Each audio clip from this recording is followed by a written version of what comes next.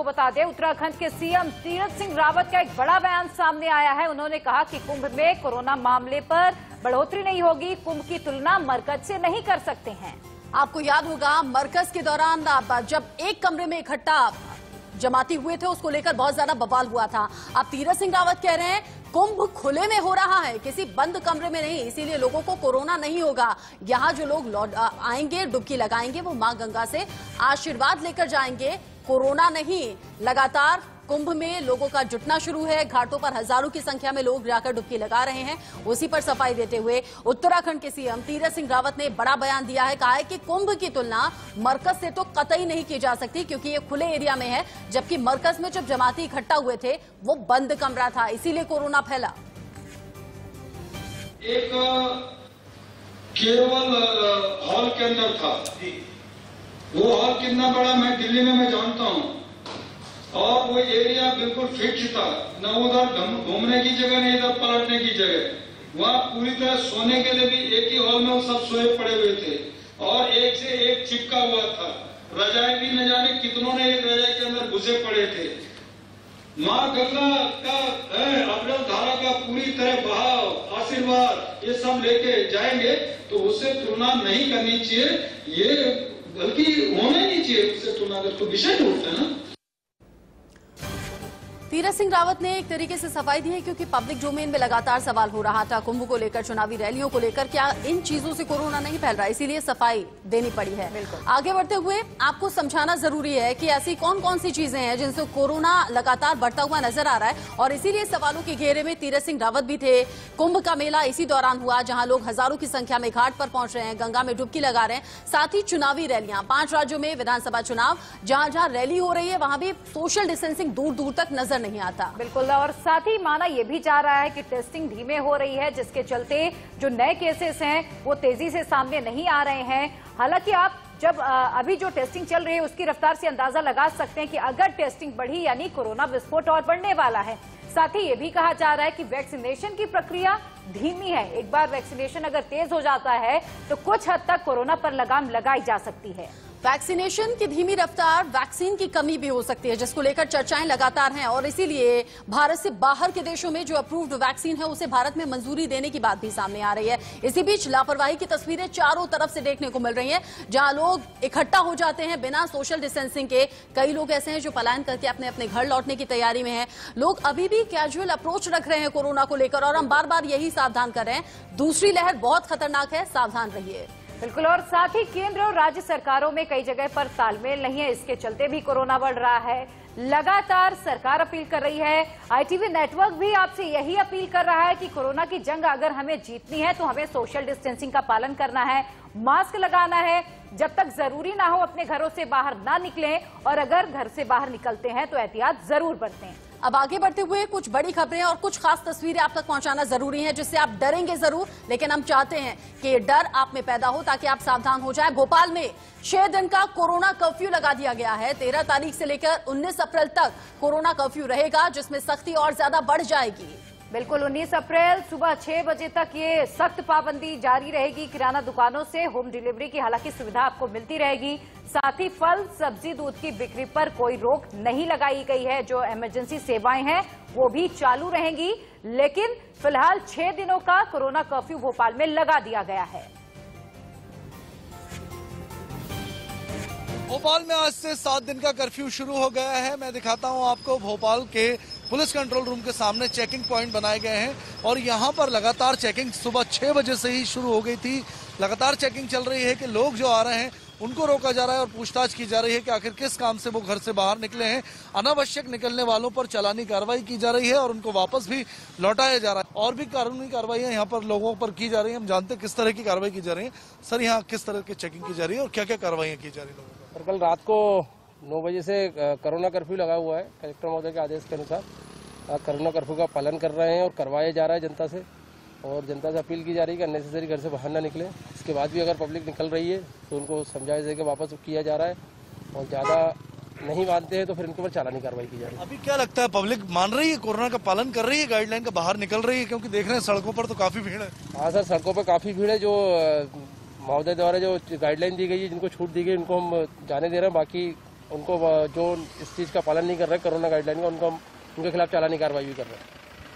तो मैं आपको बता दूँ कि यहाँ पर सब्जियों के, दूध की दुकानों को छूट दी गई थी। दुकानें खुली रहेंगी रात को आठ बजे तक। इसके अलावा अगर लेबर कैटेगरी के लोग हैं, बाहर जा रहे हैं काम से, उनको छूट दी गई है। सरकारी, शासकीय कर्मचारियों को छूट दी गई। लोग अभी फ़िलहाल मानने को तैयार नहीं है। सात दिन का कर्फ्यू यहाँ पर लगाया गया है और ज़रूरत इस बात की है कि प्रशासन को कर्फ्यू गाइडलाइन का पालन कराने के लिए और भी सख्त होना पड़ेगा।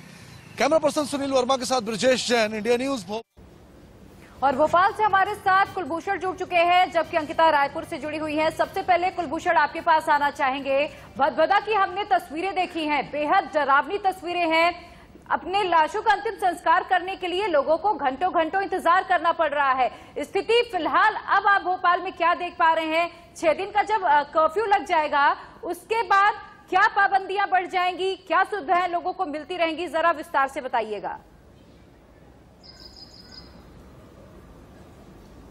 बिल्कुल अभी तक तो हमने ये देखा है कि सिनेमा हॉल में टिकट के लिए वेटिंग देखी जा सकती थी लेकिन अब अ, मध्य प्रदेश की वो स्थिति है क्योंकि हॉस्पिटल में बेड मरीजों को उपलब्ध नहीं हो रहे हैं संक्रमण इतनी तेज़ी से फैलता हुआ नज़र आ रहा है। सरकार की तरफ़ से मध्य प्रदेश में एक लाख बेड की व्यवस्था गवर्नमेंट और प्राइवेट हॉस्पिटल में की गई है। ऑक्सीजन की कमी देखी जा रही है। ऑक्सीजन पूरी तरीके से सप्लाई जो है ऑक्सीजन की वो मध्य प्रदेश में बंद हो चुकी है। प्रतिदिन आज जिस प्रकार से चिरायु हॉस्पिटल जो कि सबसे बड़ा कोविड सेंटर है मध्य प्रदेश का। उनके एमडी का जो बयान आता है अजय गुन का, उनका साफ़ तौर पे कहना कि राजधानी भोपाल के जो छोटे और बड़े हॉस्पिटल है, वहाँ पे प्रतिदिन संक्रमित मरीज़ जो है 10 से 12 मरते हुए नज़र आ रहे हैं और हमारे हॉस्पिटल में प्रतिदिन ये आंकड़ा 20 के ऊपर पहुँच रहा है। तो साफ़ तौर पर शमशान घाट की अगर सबसे पहले बात की जाए तो प्रतिदिन 50 से अधिक संक्रमित मरीजों की डेड बॉडी जलाई जा रही है। वेटिंग में लगी एक दूसरी बॉडी का नंबर एक एक दो दो घंटे बाद अ, लगता है और यहाँ पे कोरोना प्रोटोकॉल के तहत बॉडी का अंतिम संस्कार किया जा रहा है। जो भी परिजन पहुँचते हैं उनको बाउंड्री वॉल के बाहर रखा जाता है। लेकिन अ, मध्य प्रदेश सरकार से अब मध्य प्रदेश में कोरोना संभलते हुए नज़र नहीं आ रहा है। क्योंकि इंजेक्शन की कालाबाजारी हो रही है दवाइयों की कालाबाजारी हो रही है ऑक्सीजन सप्लाई जो है हॉस्पिटल और अंदाज़ा हम लगा सकते हैं जब भोपाल और इंदौर जैसे बड़े बड़े शहरों में ये हाल है इंदौर की वो तस्वीर देखी हमने जब एंबुलेंस में एक शख्स ने तड़प तड़प कर दम तोड़ दिया। हॉस्पिटल में जगह नहीं मिली। भोपाल और इंदौर जैसे बड़े शहरों का ये हाल है तो छोटे गाँव, कस्बों का हाल क्या होगा? रायपुर से अंकिता हमारे साथ हैं। अंकिता, छत्तीसगढ़ में वो कौन कौन से शहर हैं जो ज़्यादा प्रभावित हैं? सख्ती आने वाले दिनों में और क्या बढ़ने वाली है? एहतियातन।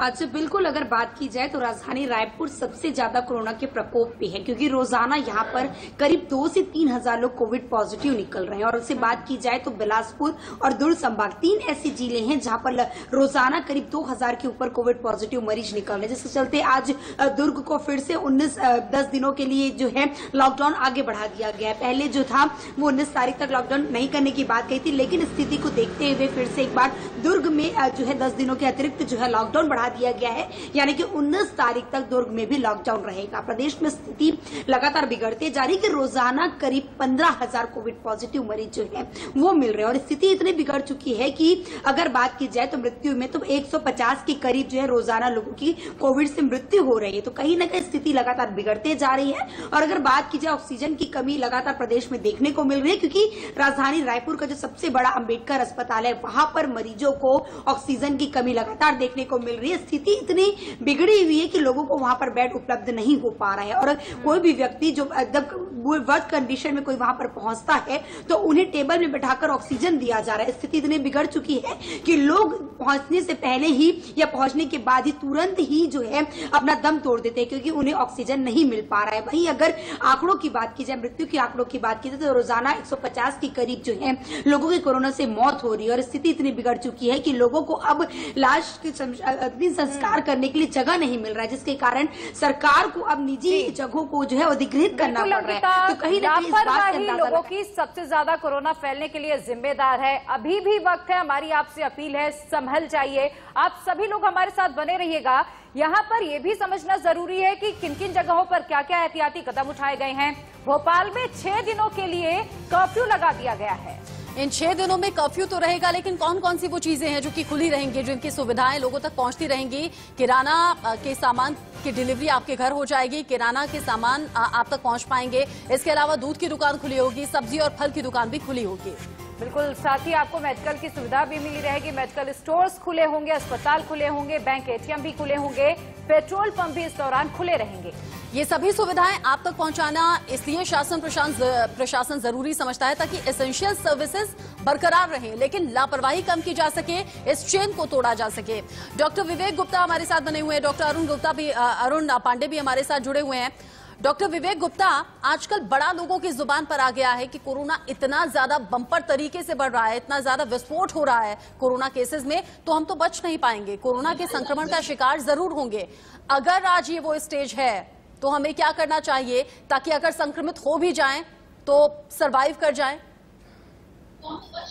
देखिए, ऐसा है, ये बड़ा ही टिपिकल क्वेश्चन है और मैं ये, एक तो सबसे बताना चाहूँगा कि ये कोरोना जो सेकेंड वेव आई है इसकी मोर्टेलिटी या इसके गंभीरता होने के चांसेस पुराने वाले कोरोना से थोड़ा कम है। तो बहुत ज़्यादा भयभीत ना हुई है जैसे प्रधानमंत्री जी कहते हैं प्रिकॉशन लीजिए पैनिक ना हो P for panic P for precaution लेकिन सबसे इंपॉर्टेंट बात यह है कि सबको पता है एसएमएस सैनिटाइजेशन दवाइयाँ जो ज़रूरी हैं मैं तो ये कहता हूँ कि जो दवाइयाँ हैं जिसमें आइवरमेक्टिन दवा है और बाकी एक एंटीबायोटिक है डॉक्सी ये सब है। रेमडेसिविर नाम की एक दवा है जो कि फ़र्स्ट वीक में देने से पेशेंट सीरियस होने से काफ़ी बच सकता है। अब उसमें प्रॉब्लम यह है कि उसको भर्ती करना पड़ता है। बेड्स की कमी वैसे ही बहुत ज़्यादा है। अब वो उसका तरीका एक ही हो सकता है कि there should be some way by government और by private hospitals by doctors ये अगर किसी पेशेंट का बेड नहीं मिल रहा है तो रेमडेसिविर इंट्रावीनस दवा दिन में एक ही बार दी जाती है। इसको अगर हम घर पे दे दे पेशेंट को छह दिन के लिए देना है या पाँच दिन के लिए देना है केवल तो काफ़ी लोग सीरियस होने से बच सकते हैं। तो इसके लिए एक विचार विमर्श होना चाहिए can we give remdesivir at home in the home quarantine patient जिसको हल्का सा ऑक्सीजन की ज़रूरत भी है नहीं है। I am very sure about this मैंने कई वेबिनार किए कि अगर रेमडेसिविर नाम की दवा जो कि एंटी वायरल मेडिसिन है एक ओरल मेडिसिन आती है फेविपिराविर वो तो ओरल खा रहे हैं लेकिन उसकी इफेक्टिवली उसकी एफिकेसी उतनी ज़्यादा नहीं है। अगर हम ये रेमडेसिविर दे पाए और गवर्नमेंट इस तरह सोचे देखिए बेड्स अरेंज करना is not is not a joke is not easy और ऑक्सीजन की ज़रूरत ऑक्सीजन से डेथ नहीं होती ऑक्सीजन कमी होती है। अगर हम घर पे भी ऑक्सीजन की सुविधा दे दें थोड़ी दो लीटर या चार लीटर पे तो और साथ में इंजेक्शन रेमडेसिविर शुरू कर दी जाए। तो मैं गवर्नमेंट के साथ साथ बाकी डॉक्टरों के एसोसिएशन के साथ साथ बाकी प्राइवेट हॉस्पिटल साथ साथ नर्सिंग होम के साथ साथ ये गुजारिश करूँगा कि इस तरह का कोई सिस्टम निकाला जाए कि हम पेशेंट्स को इससे इलाज कर पाए। दूसरी बात ये बची कि जो होम क्वारंटाइन में लोग हैं उनको उनके बाकी रिश्तेदारों को कैसे बचाया जाए सॉरी बाकी जो साथ रह रहे हैं उनको कैसे बचाया जाए? तो 24 फोर आवर्स मास्क पहनना ज़रूरी है। 24 मतलब सोते समय की बात नहीं कर रहा हूँ मैं। और अब देखिए बाकी बातें तो आप लोग बता ही रहे टेलीविज़न पे कि कितनी भीड़ है शादियाँ हो रही हैं प्रोग्राम्स हो रहे हैं रैलीज हो रही हैं उनको तो रोकना ही है। लेकिन अगर जैसे मैं भी खुद हूँ I am also very casual मैं भी सोचता हूँ कि जब मैं हॉस्पिटल में राउंड लेता हूँ तभी हम मास्क पूरा पहन लेते हैं बाकी कपड़े नहीं पहनते। तो कोई सिस्टम करना पड़ेगा कि लोगों की आदत में डालना पड़ेगा एटलीस्ट फॉर दिस ईयर 2021 के लिए कि मास्क पूरा नाक तक पहने रहे और अपने लिए भी और दूसरों के बचाव के लिए भी। क्योंकि अगर बेड्स कमी हो गई फिर मोर्टेलिटी इतनी बढ़ जाएगी कि हमको रोकना बड़ा मुश्किल हो जाएगा।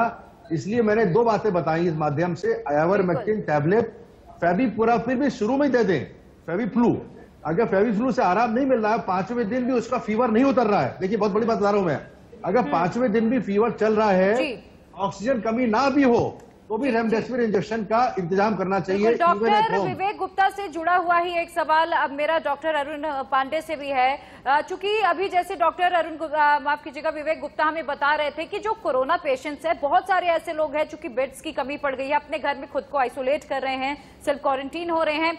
ऐसे में जो लोग उनकी देखभाल करते हैं एहतियातन उन्हें कैसे अपने आप को बचाना है? क्योंकि संक्रमण का खतरा सबसे ज़्यादा उनके लिए ही बढ़ जाता है। जी देखिए सबसे पहली बात तो शुरुआत में यहाँ से करूँ कि जैसे ही आपको तबीयत खराब या सिम्टम्स अपियर होते हैं आप टेस्ट कराए हैं कराने जा रहे हैं उसी दिन से ये अपने आप अपने आप को मान लेना है जिस दिन से सिम्टम्स आया है कि आप कोविड से कोविड इस पेंडेमिक में आप कोविड से इंफेक्शन हो गया है आप। तो पहला काम करना है जैसे ही आपका सैंपलिंग हो जाती है अपने आप को आइसोलेट करना है। ये वेट नहीं करना है कि अब जब रिपोर्ट पॉजिटिव आ जाएगी तब आइसोलेट करेंगे जी। अगर उसी समय हम अपने आप को आइसोलेट कर लेंगे तो ज़ाहिर सी बात है हम एक आइसोलेशन में रहेंगे तो कहीं ना कहीं स्प्रेड करने का जो चांस है वो बच जाएगा।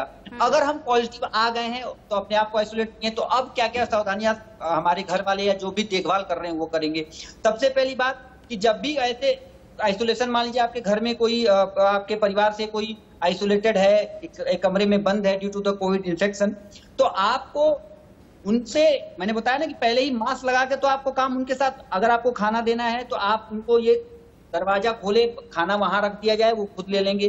मास्क लगा के उनके उनसे अगर बात भी करना है तो उचित दूरी बना के दूर से बात कर सकते हैं। उनके रूम तक जाने की ज़रूरत नहीं है आप। आप फ़िज़िकल डिस्टेंसिंग दो फीट की दूरी रख के मास्क लगा के आप और और मैं एक चीज़ और बोलता हूँ कि अगर आपके घर में 45 साल के ऊपर कोई भी है तो इस समय वैक्सीनेशन लेना ज़रूरी है।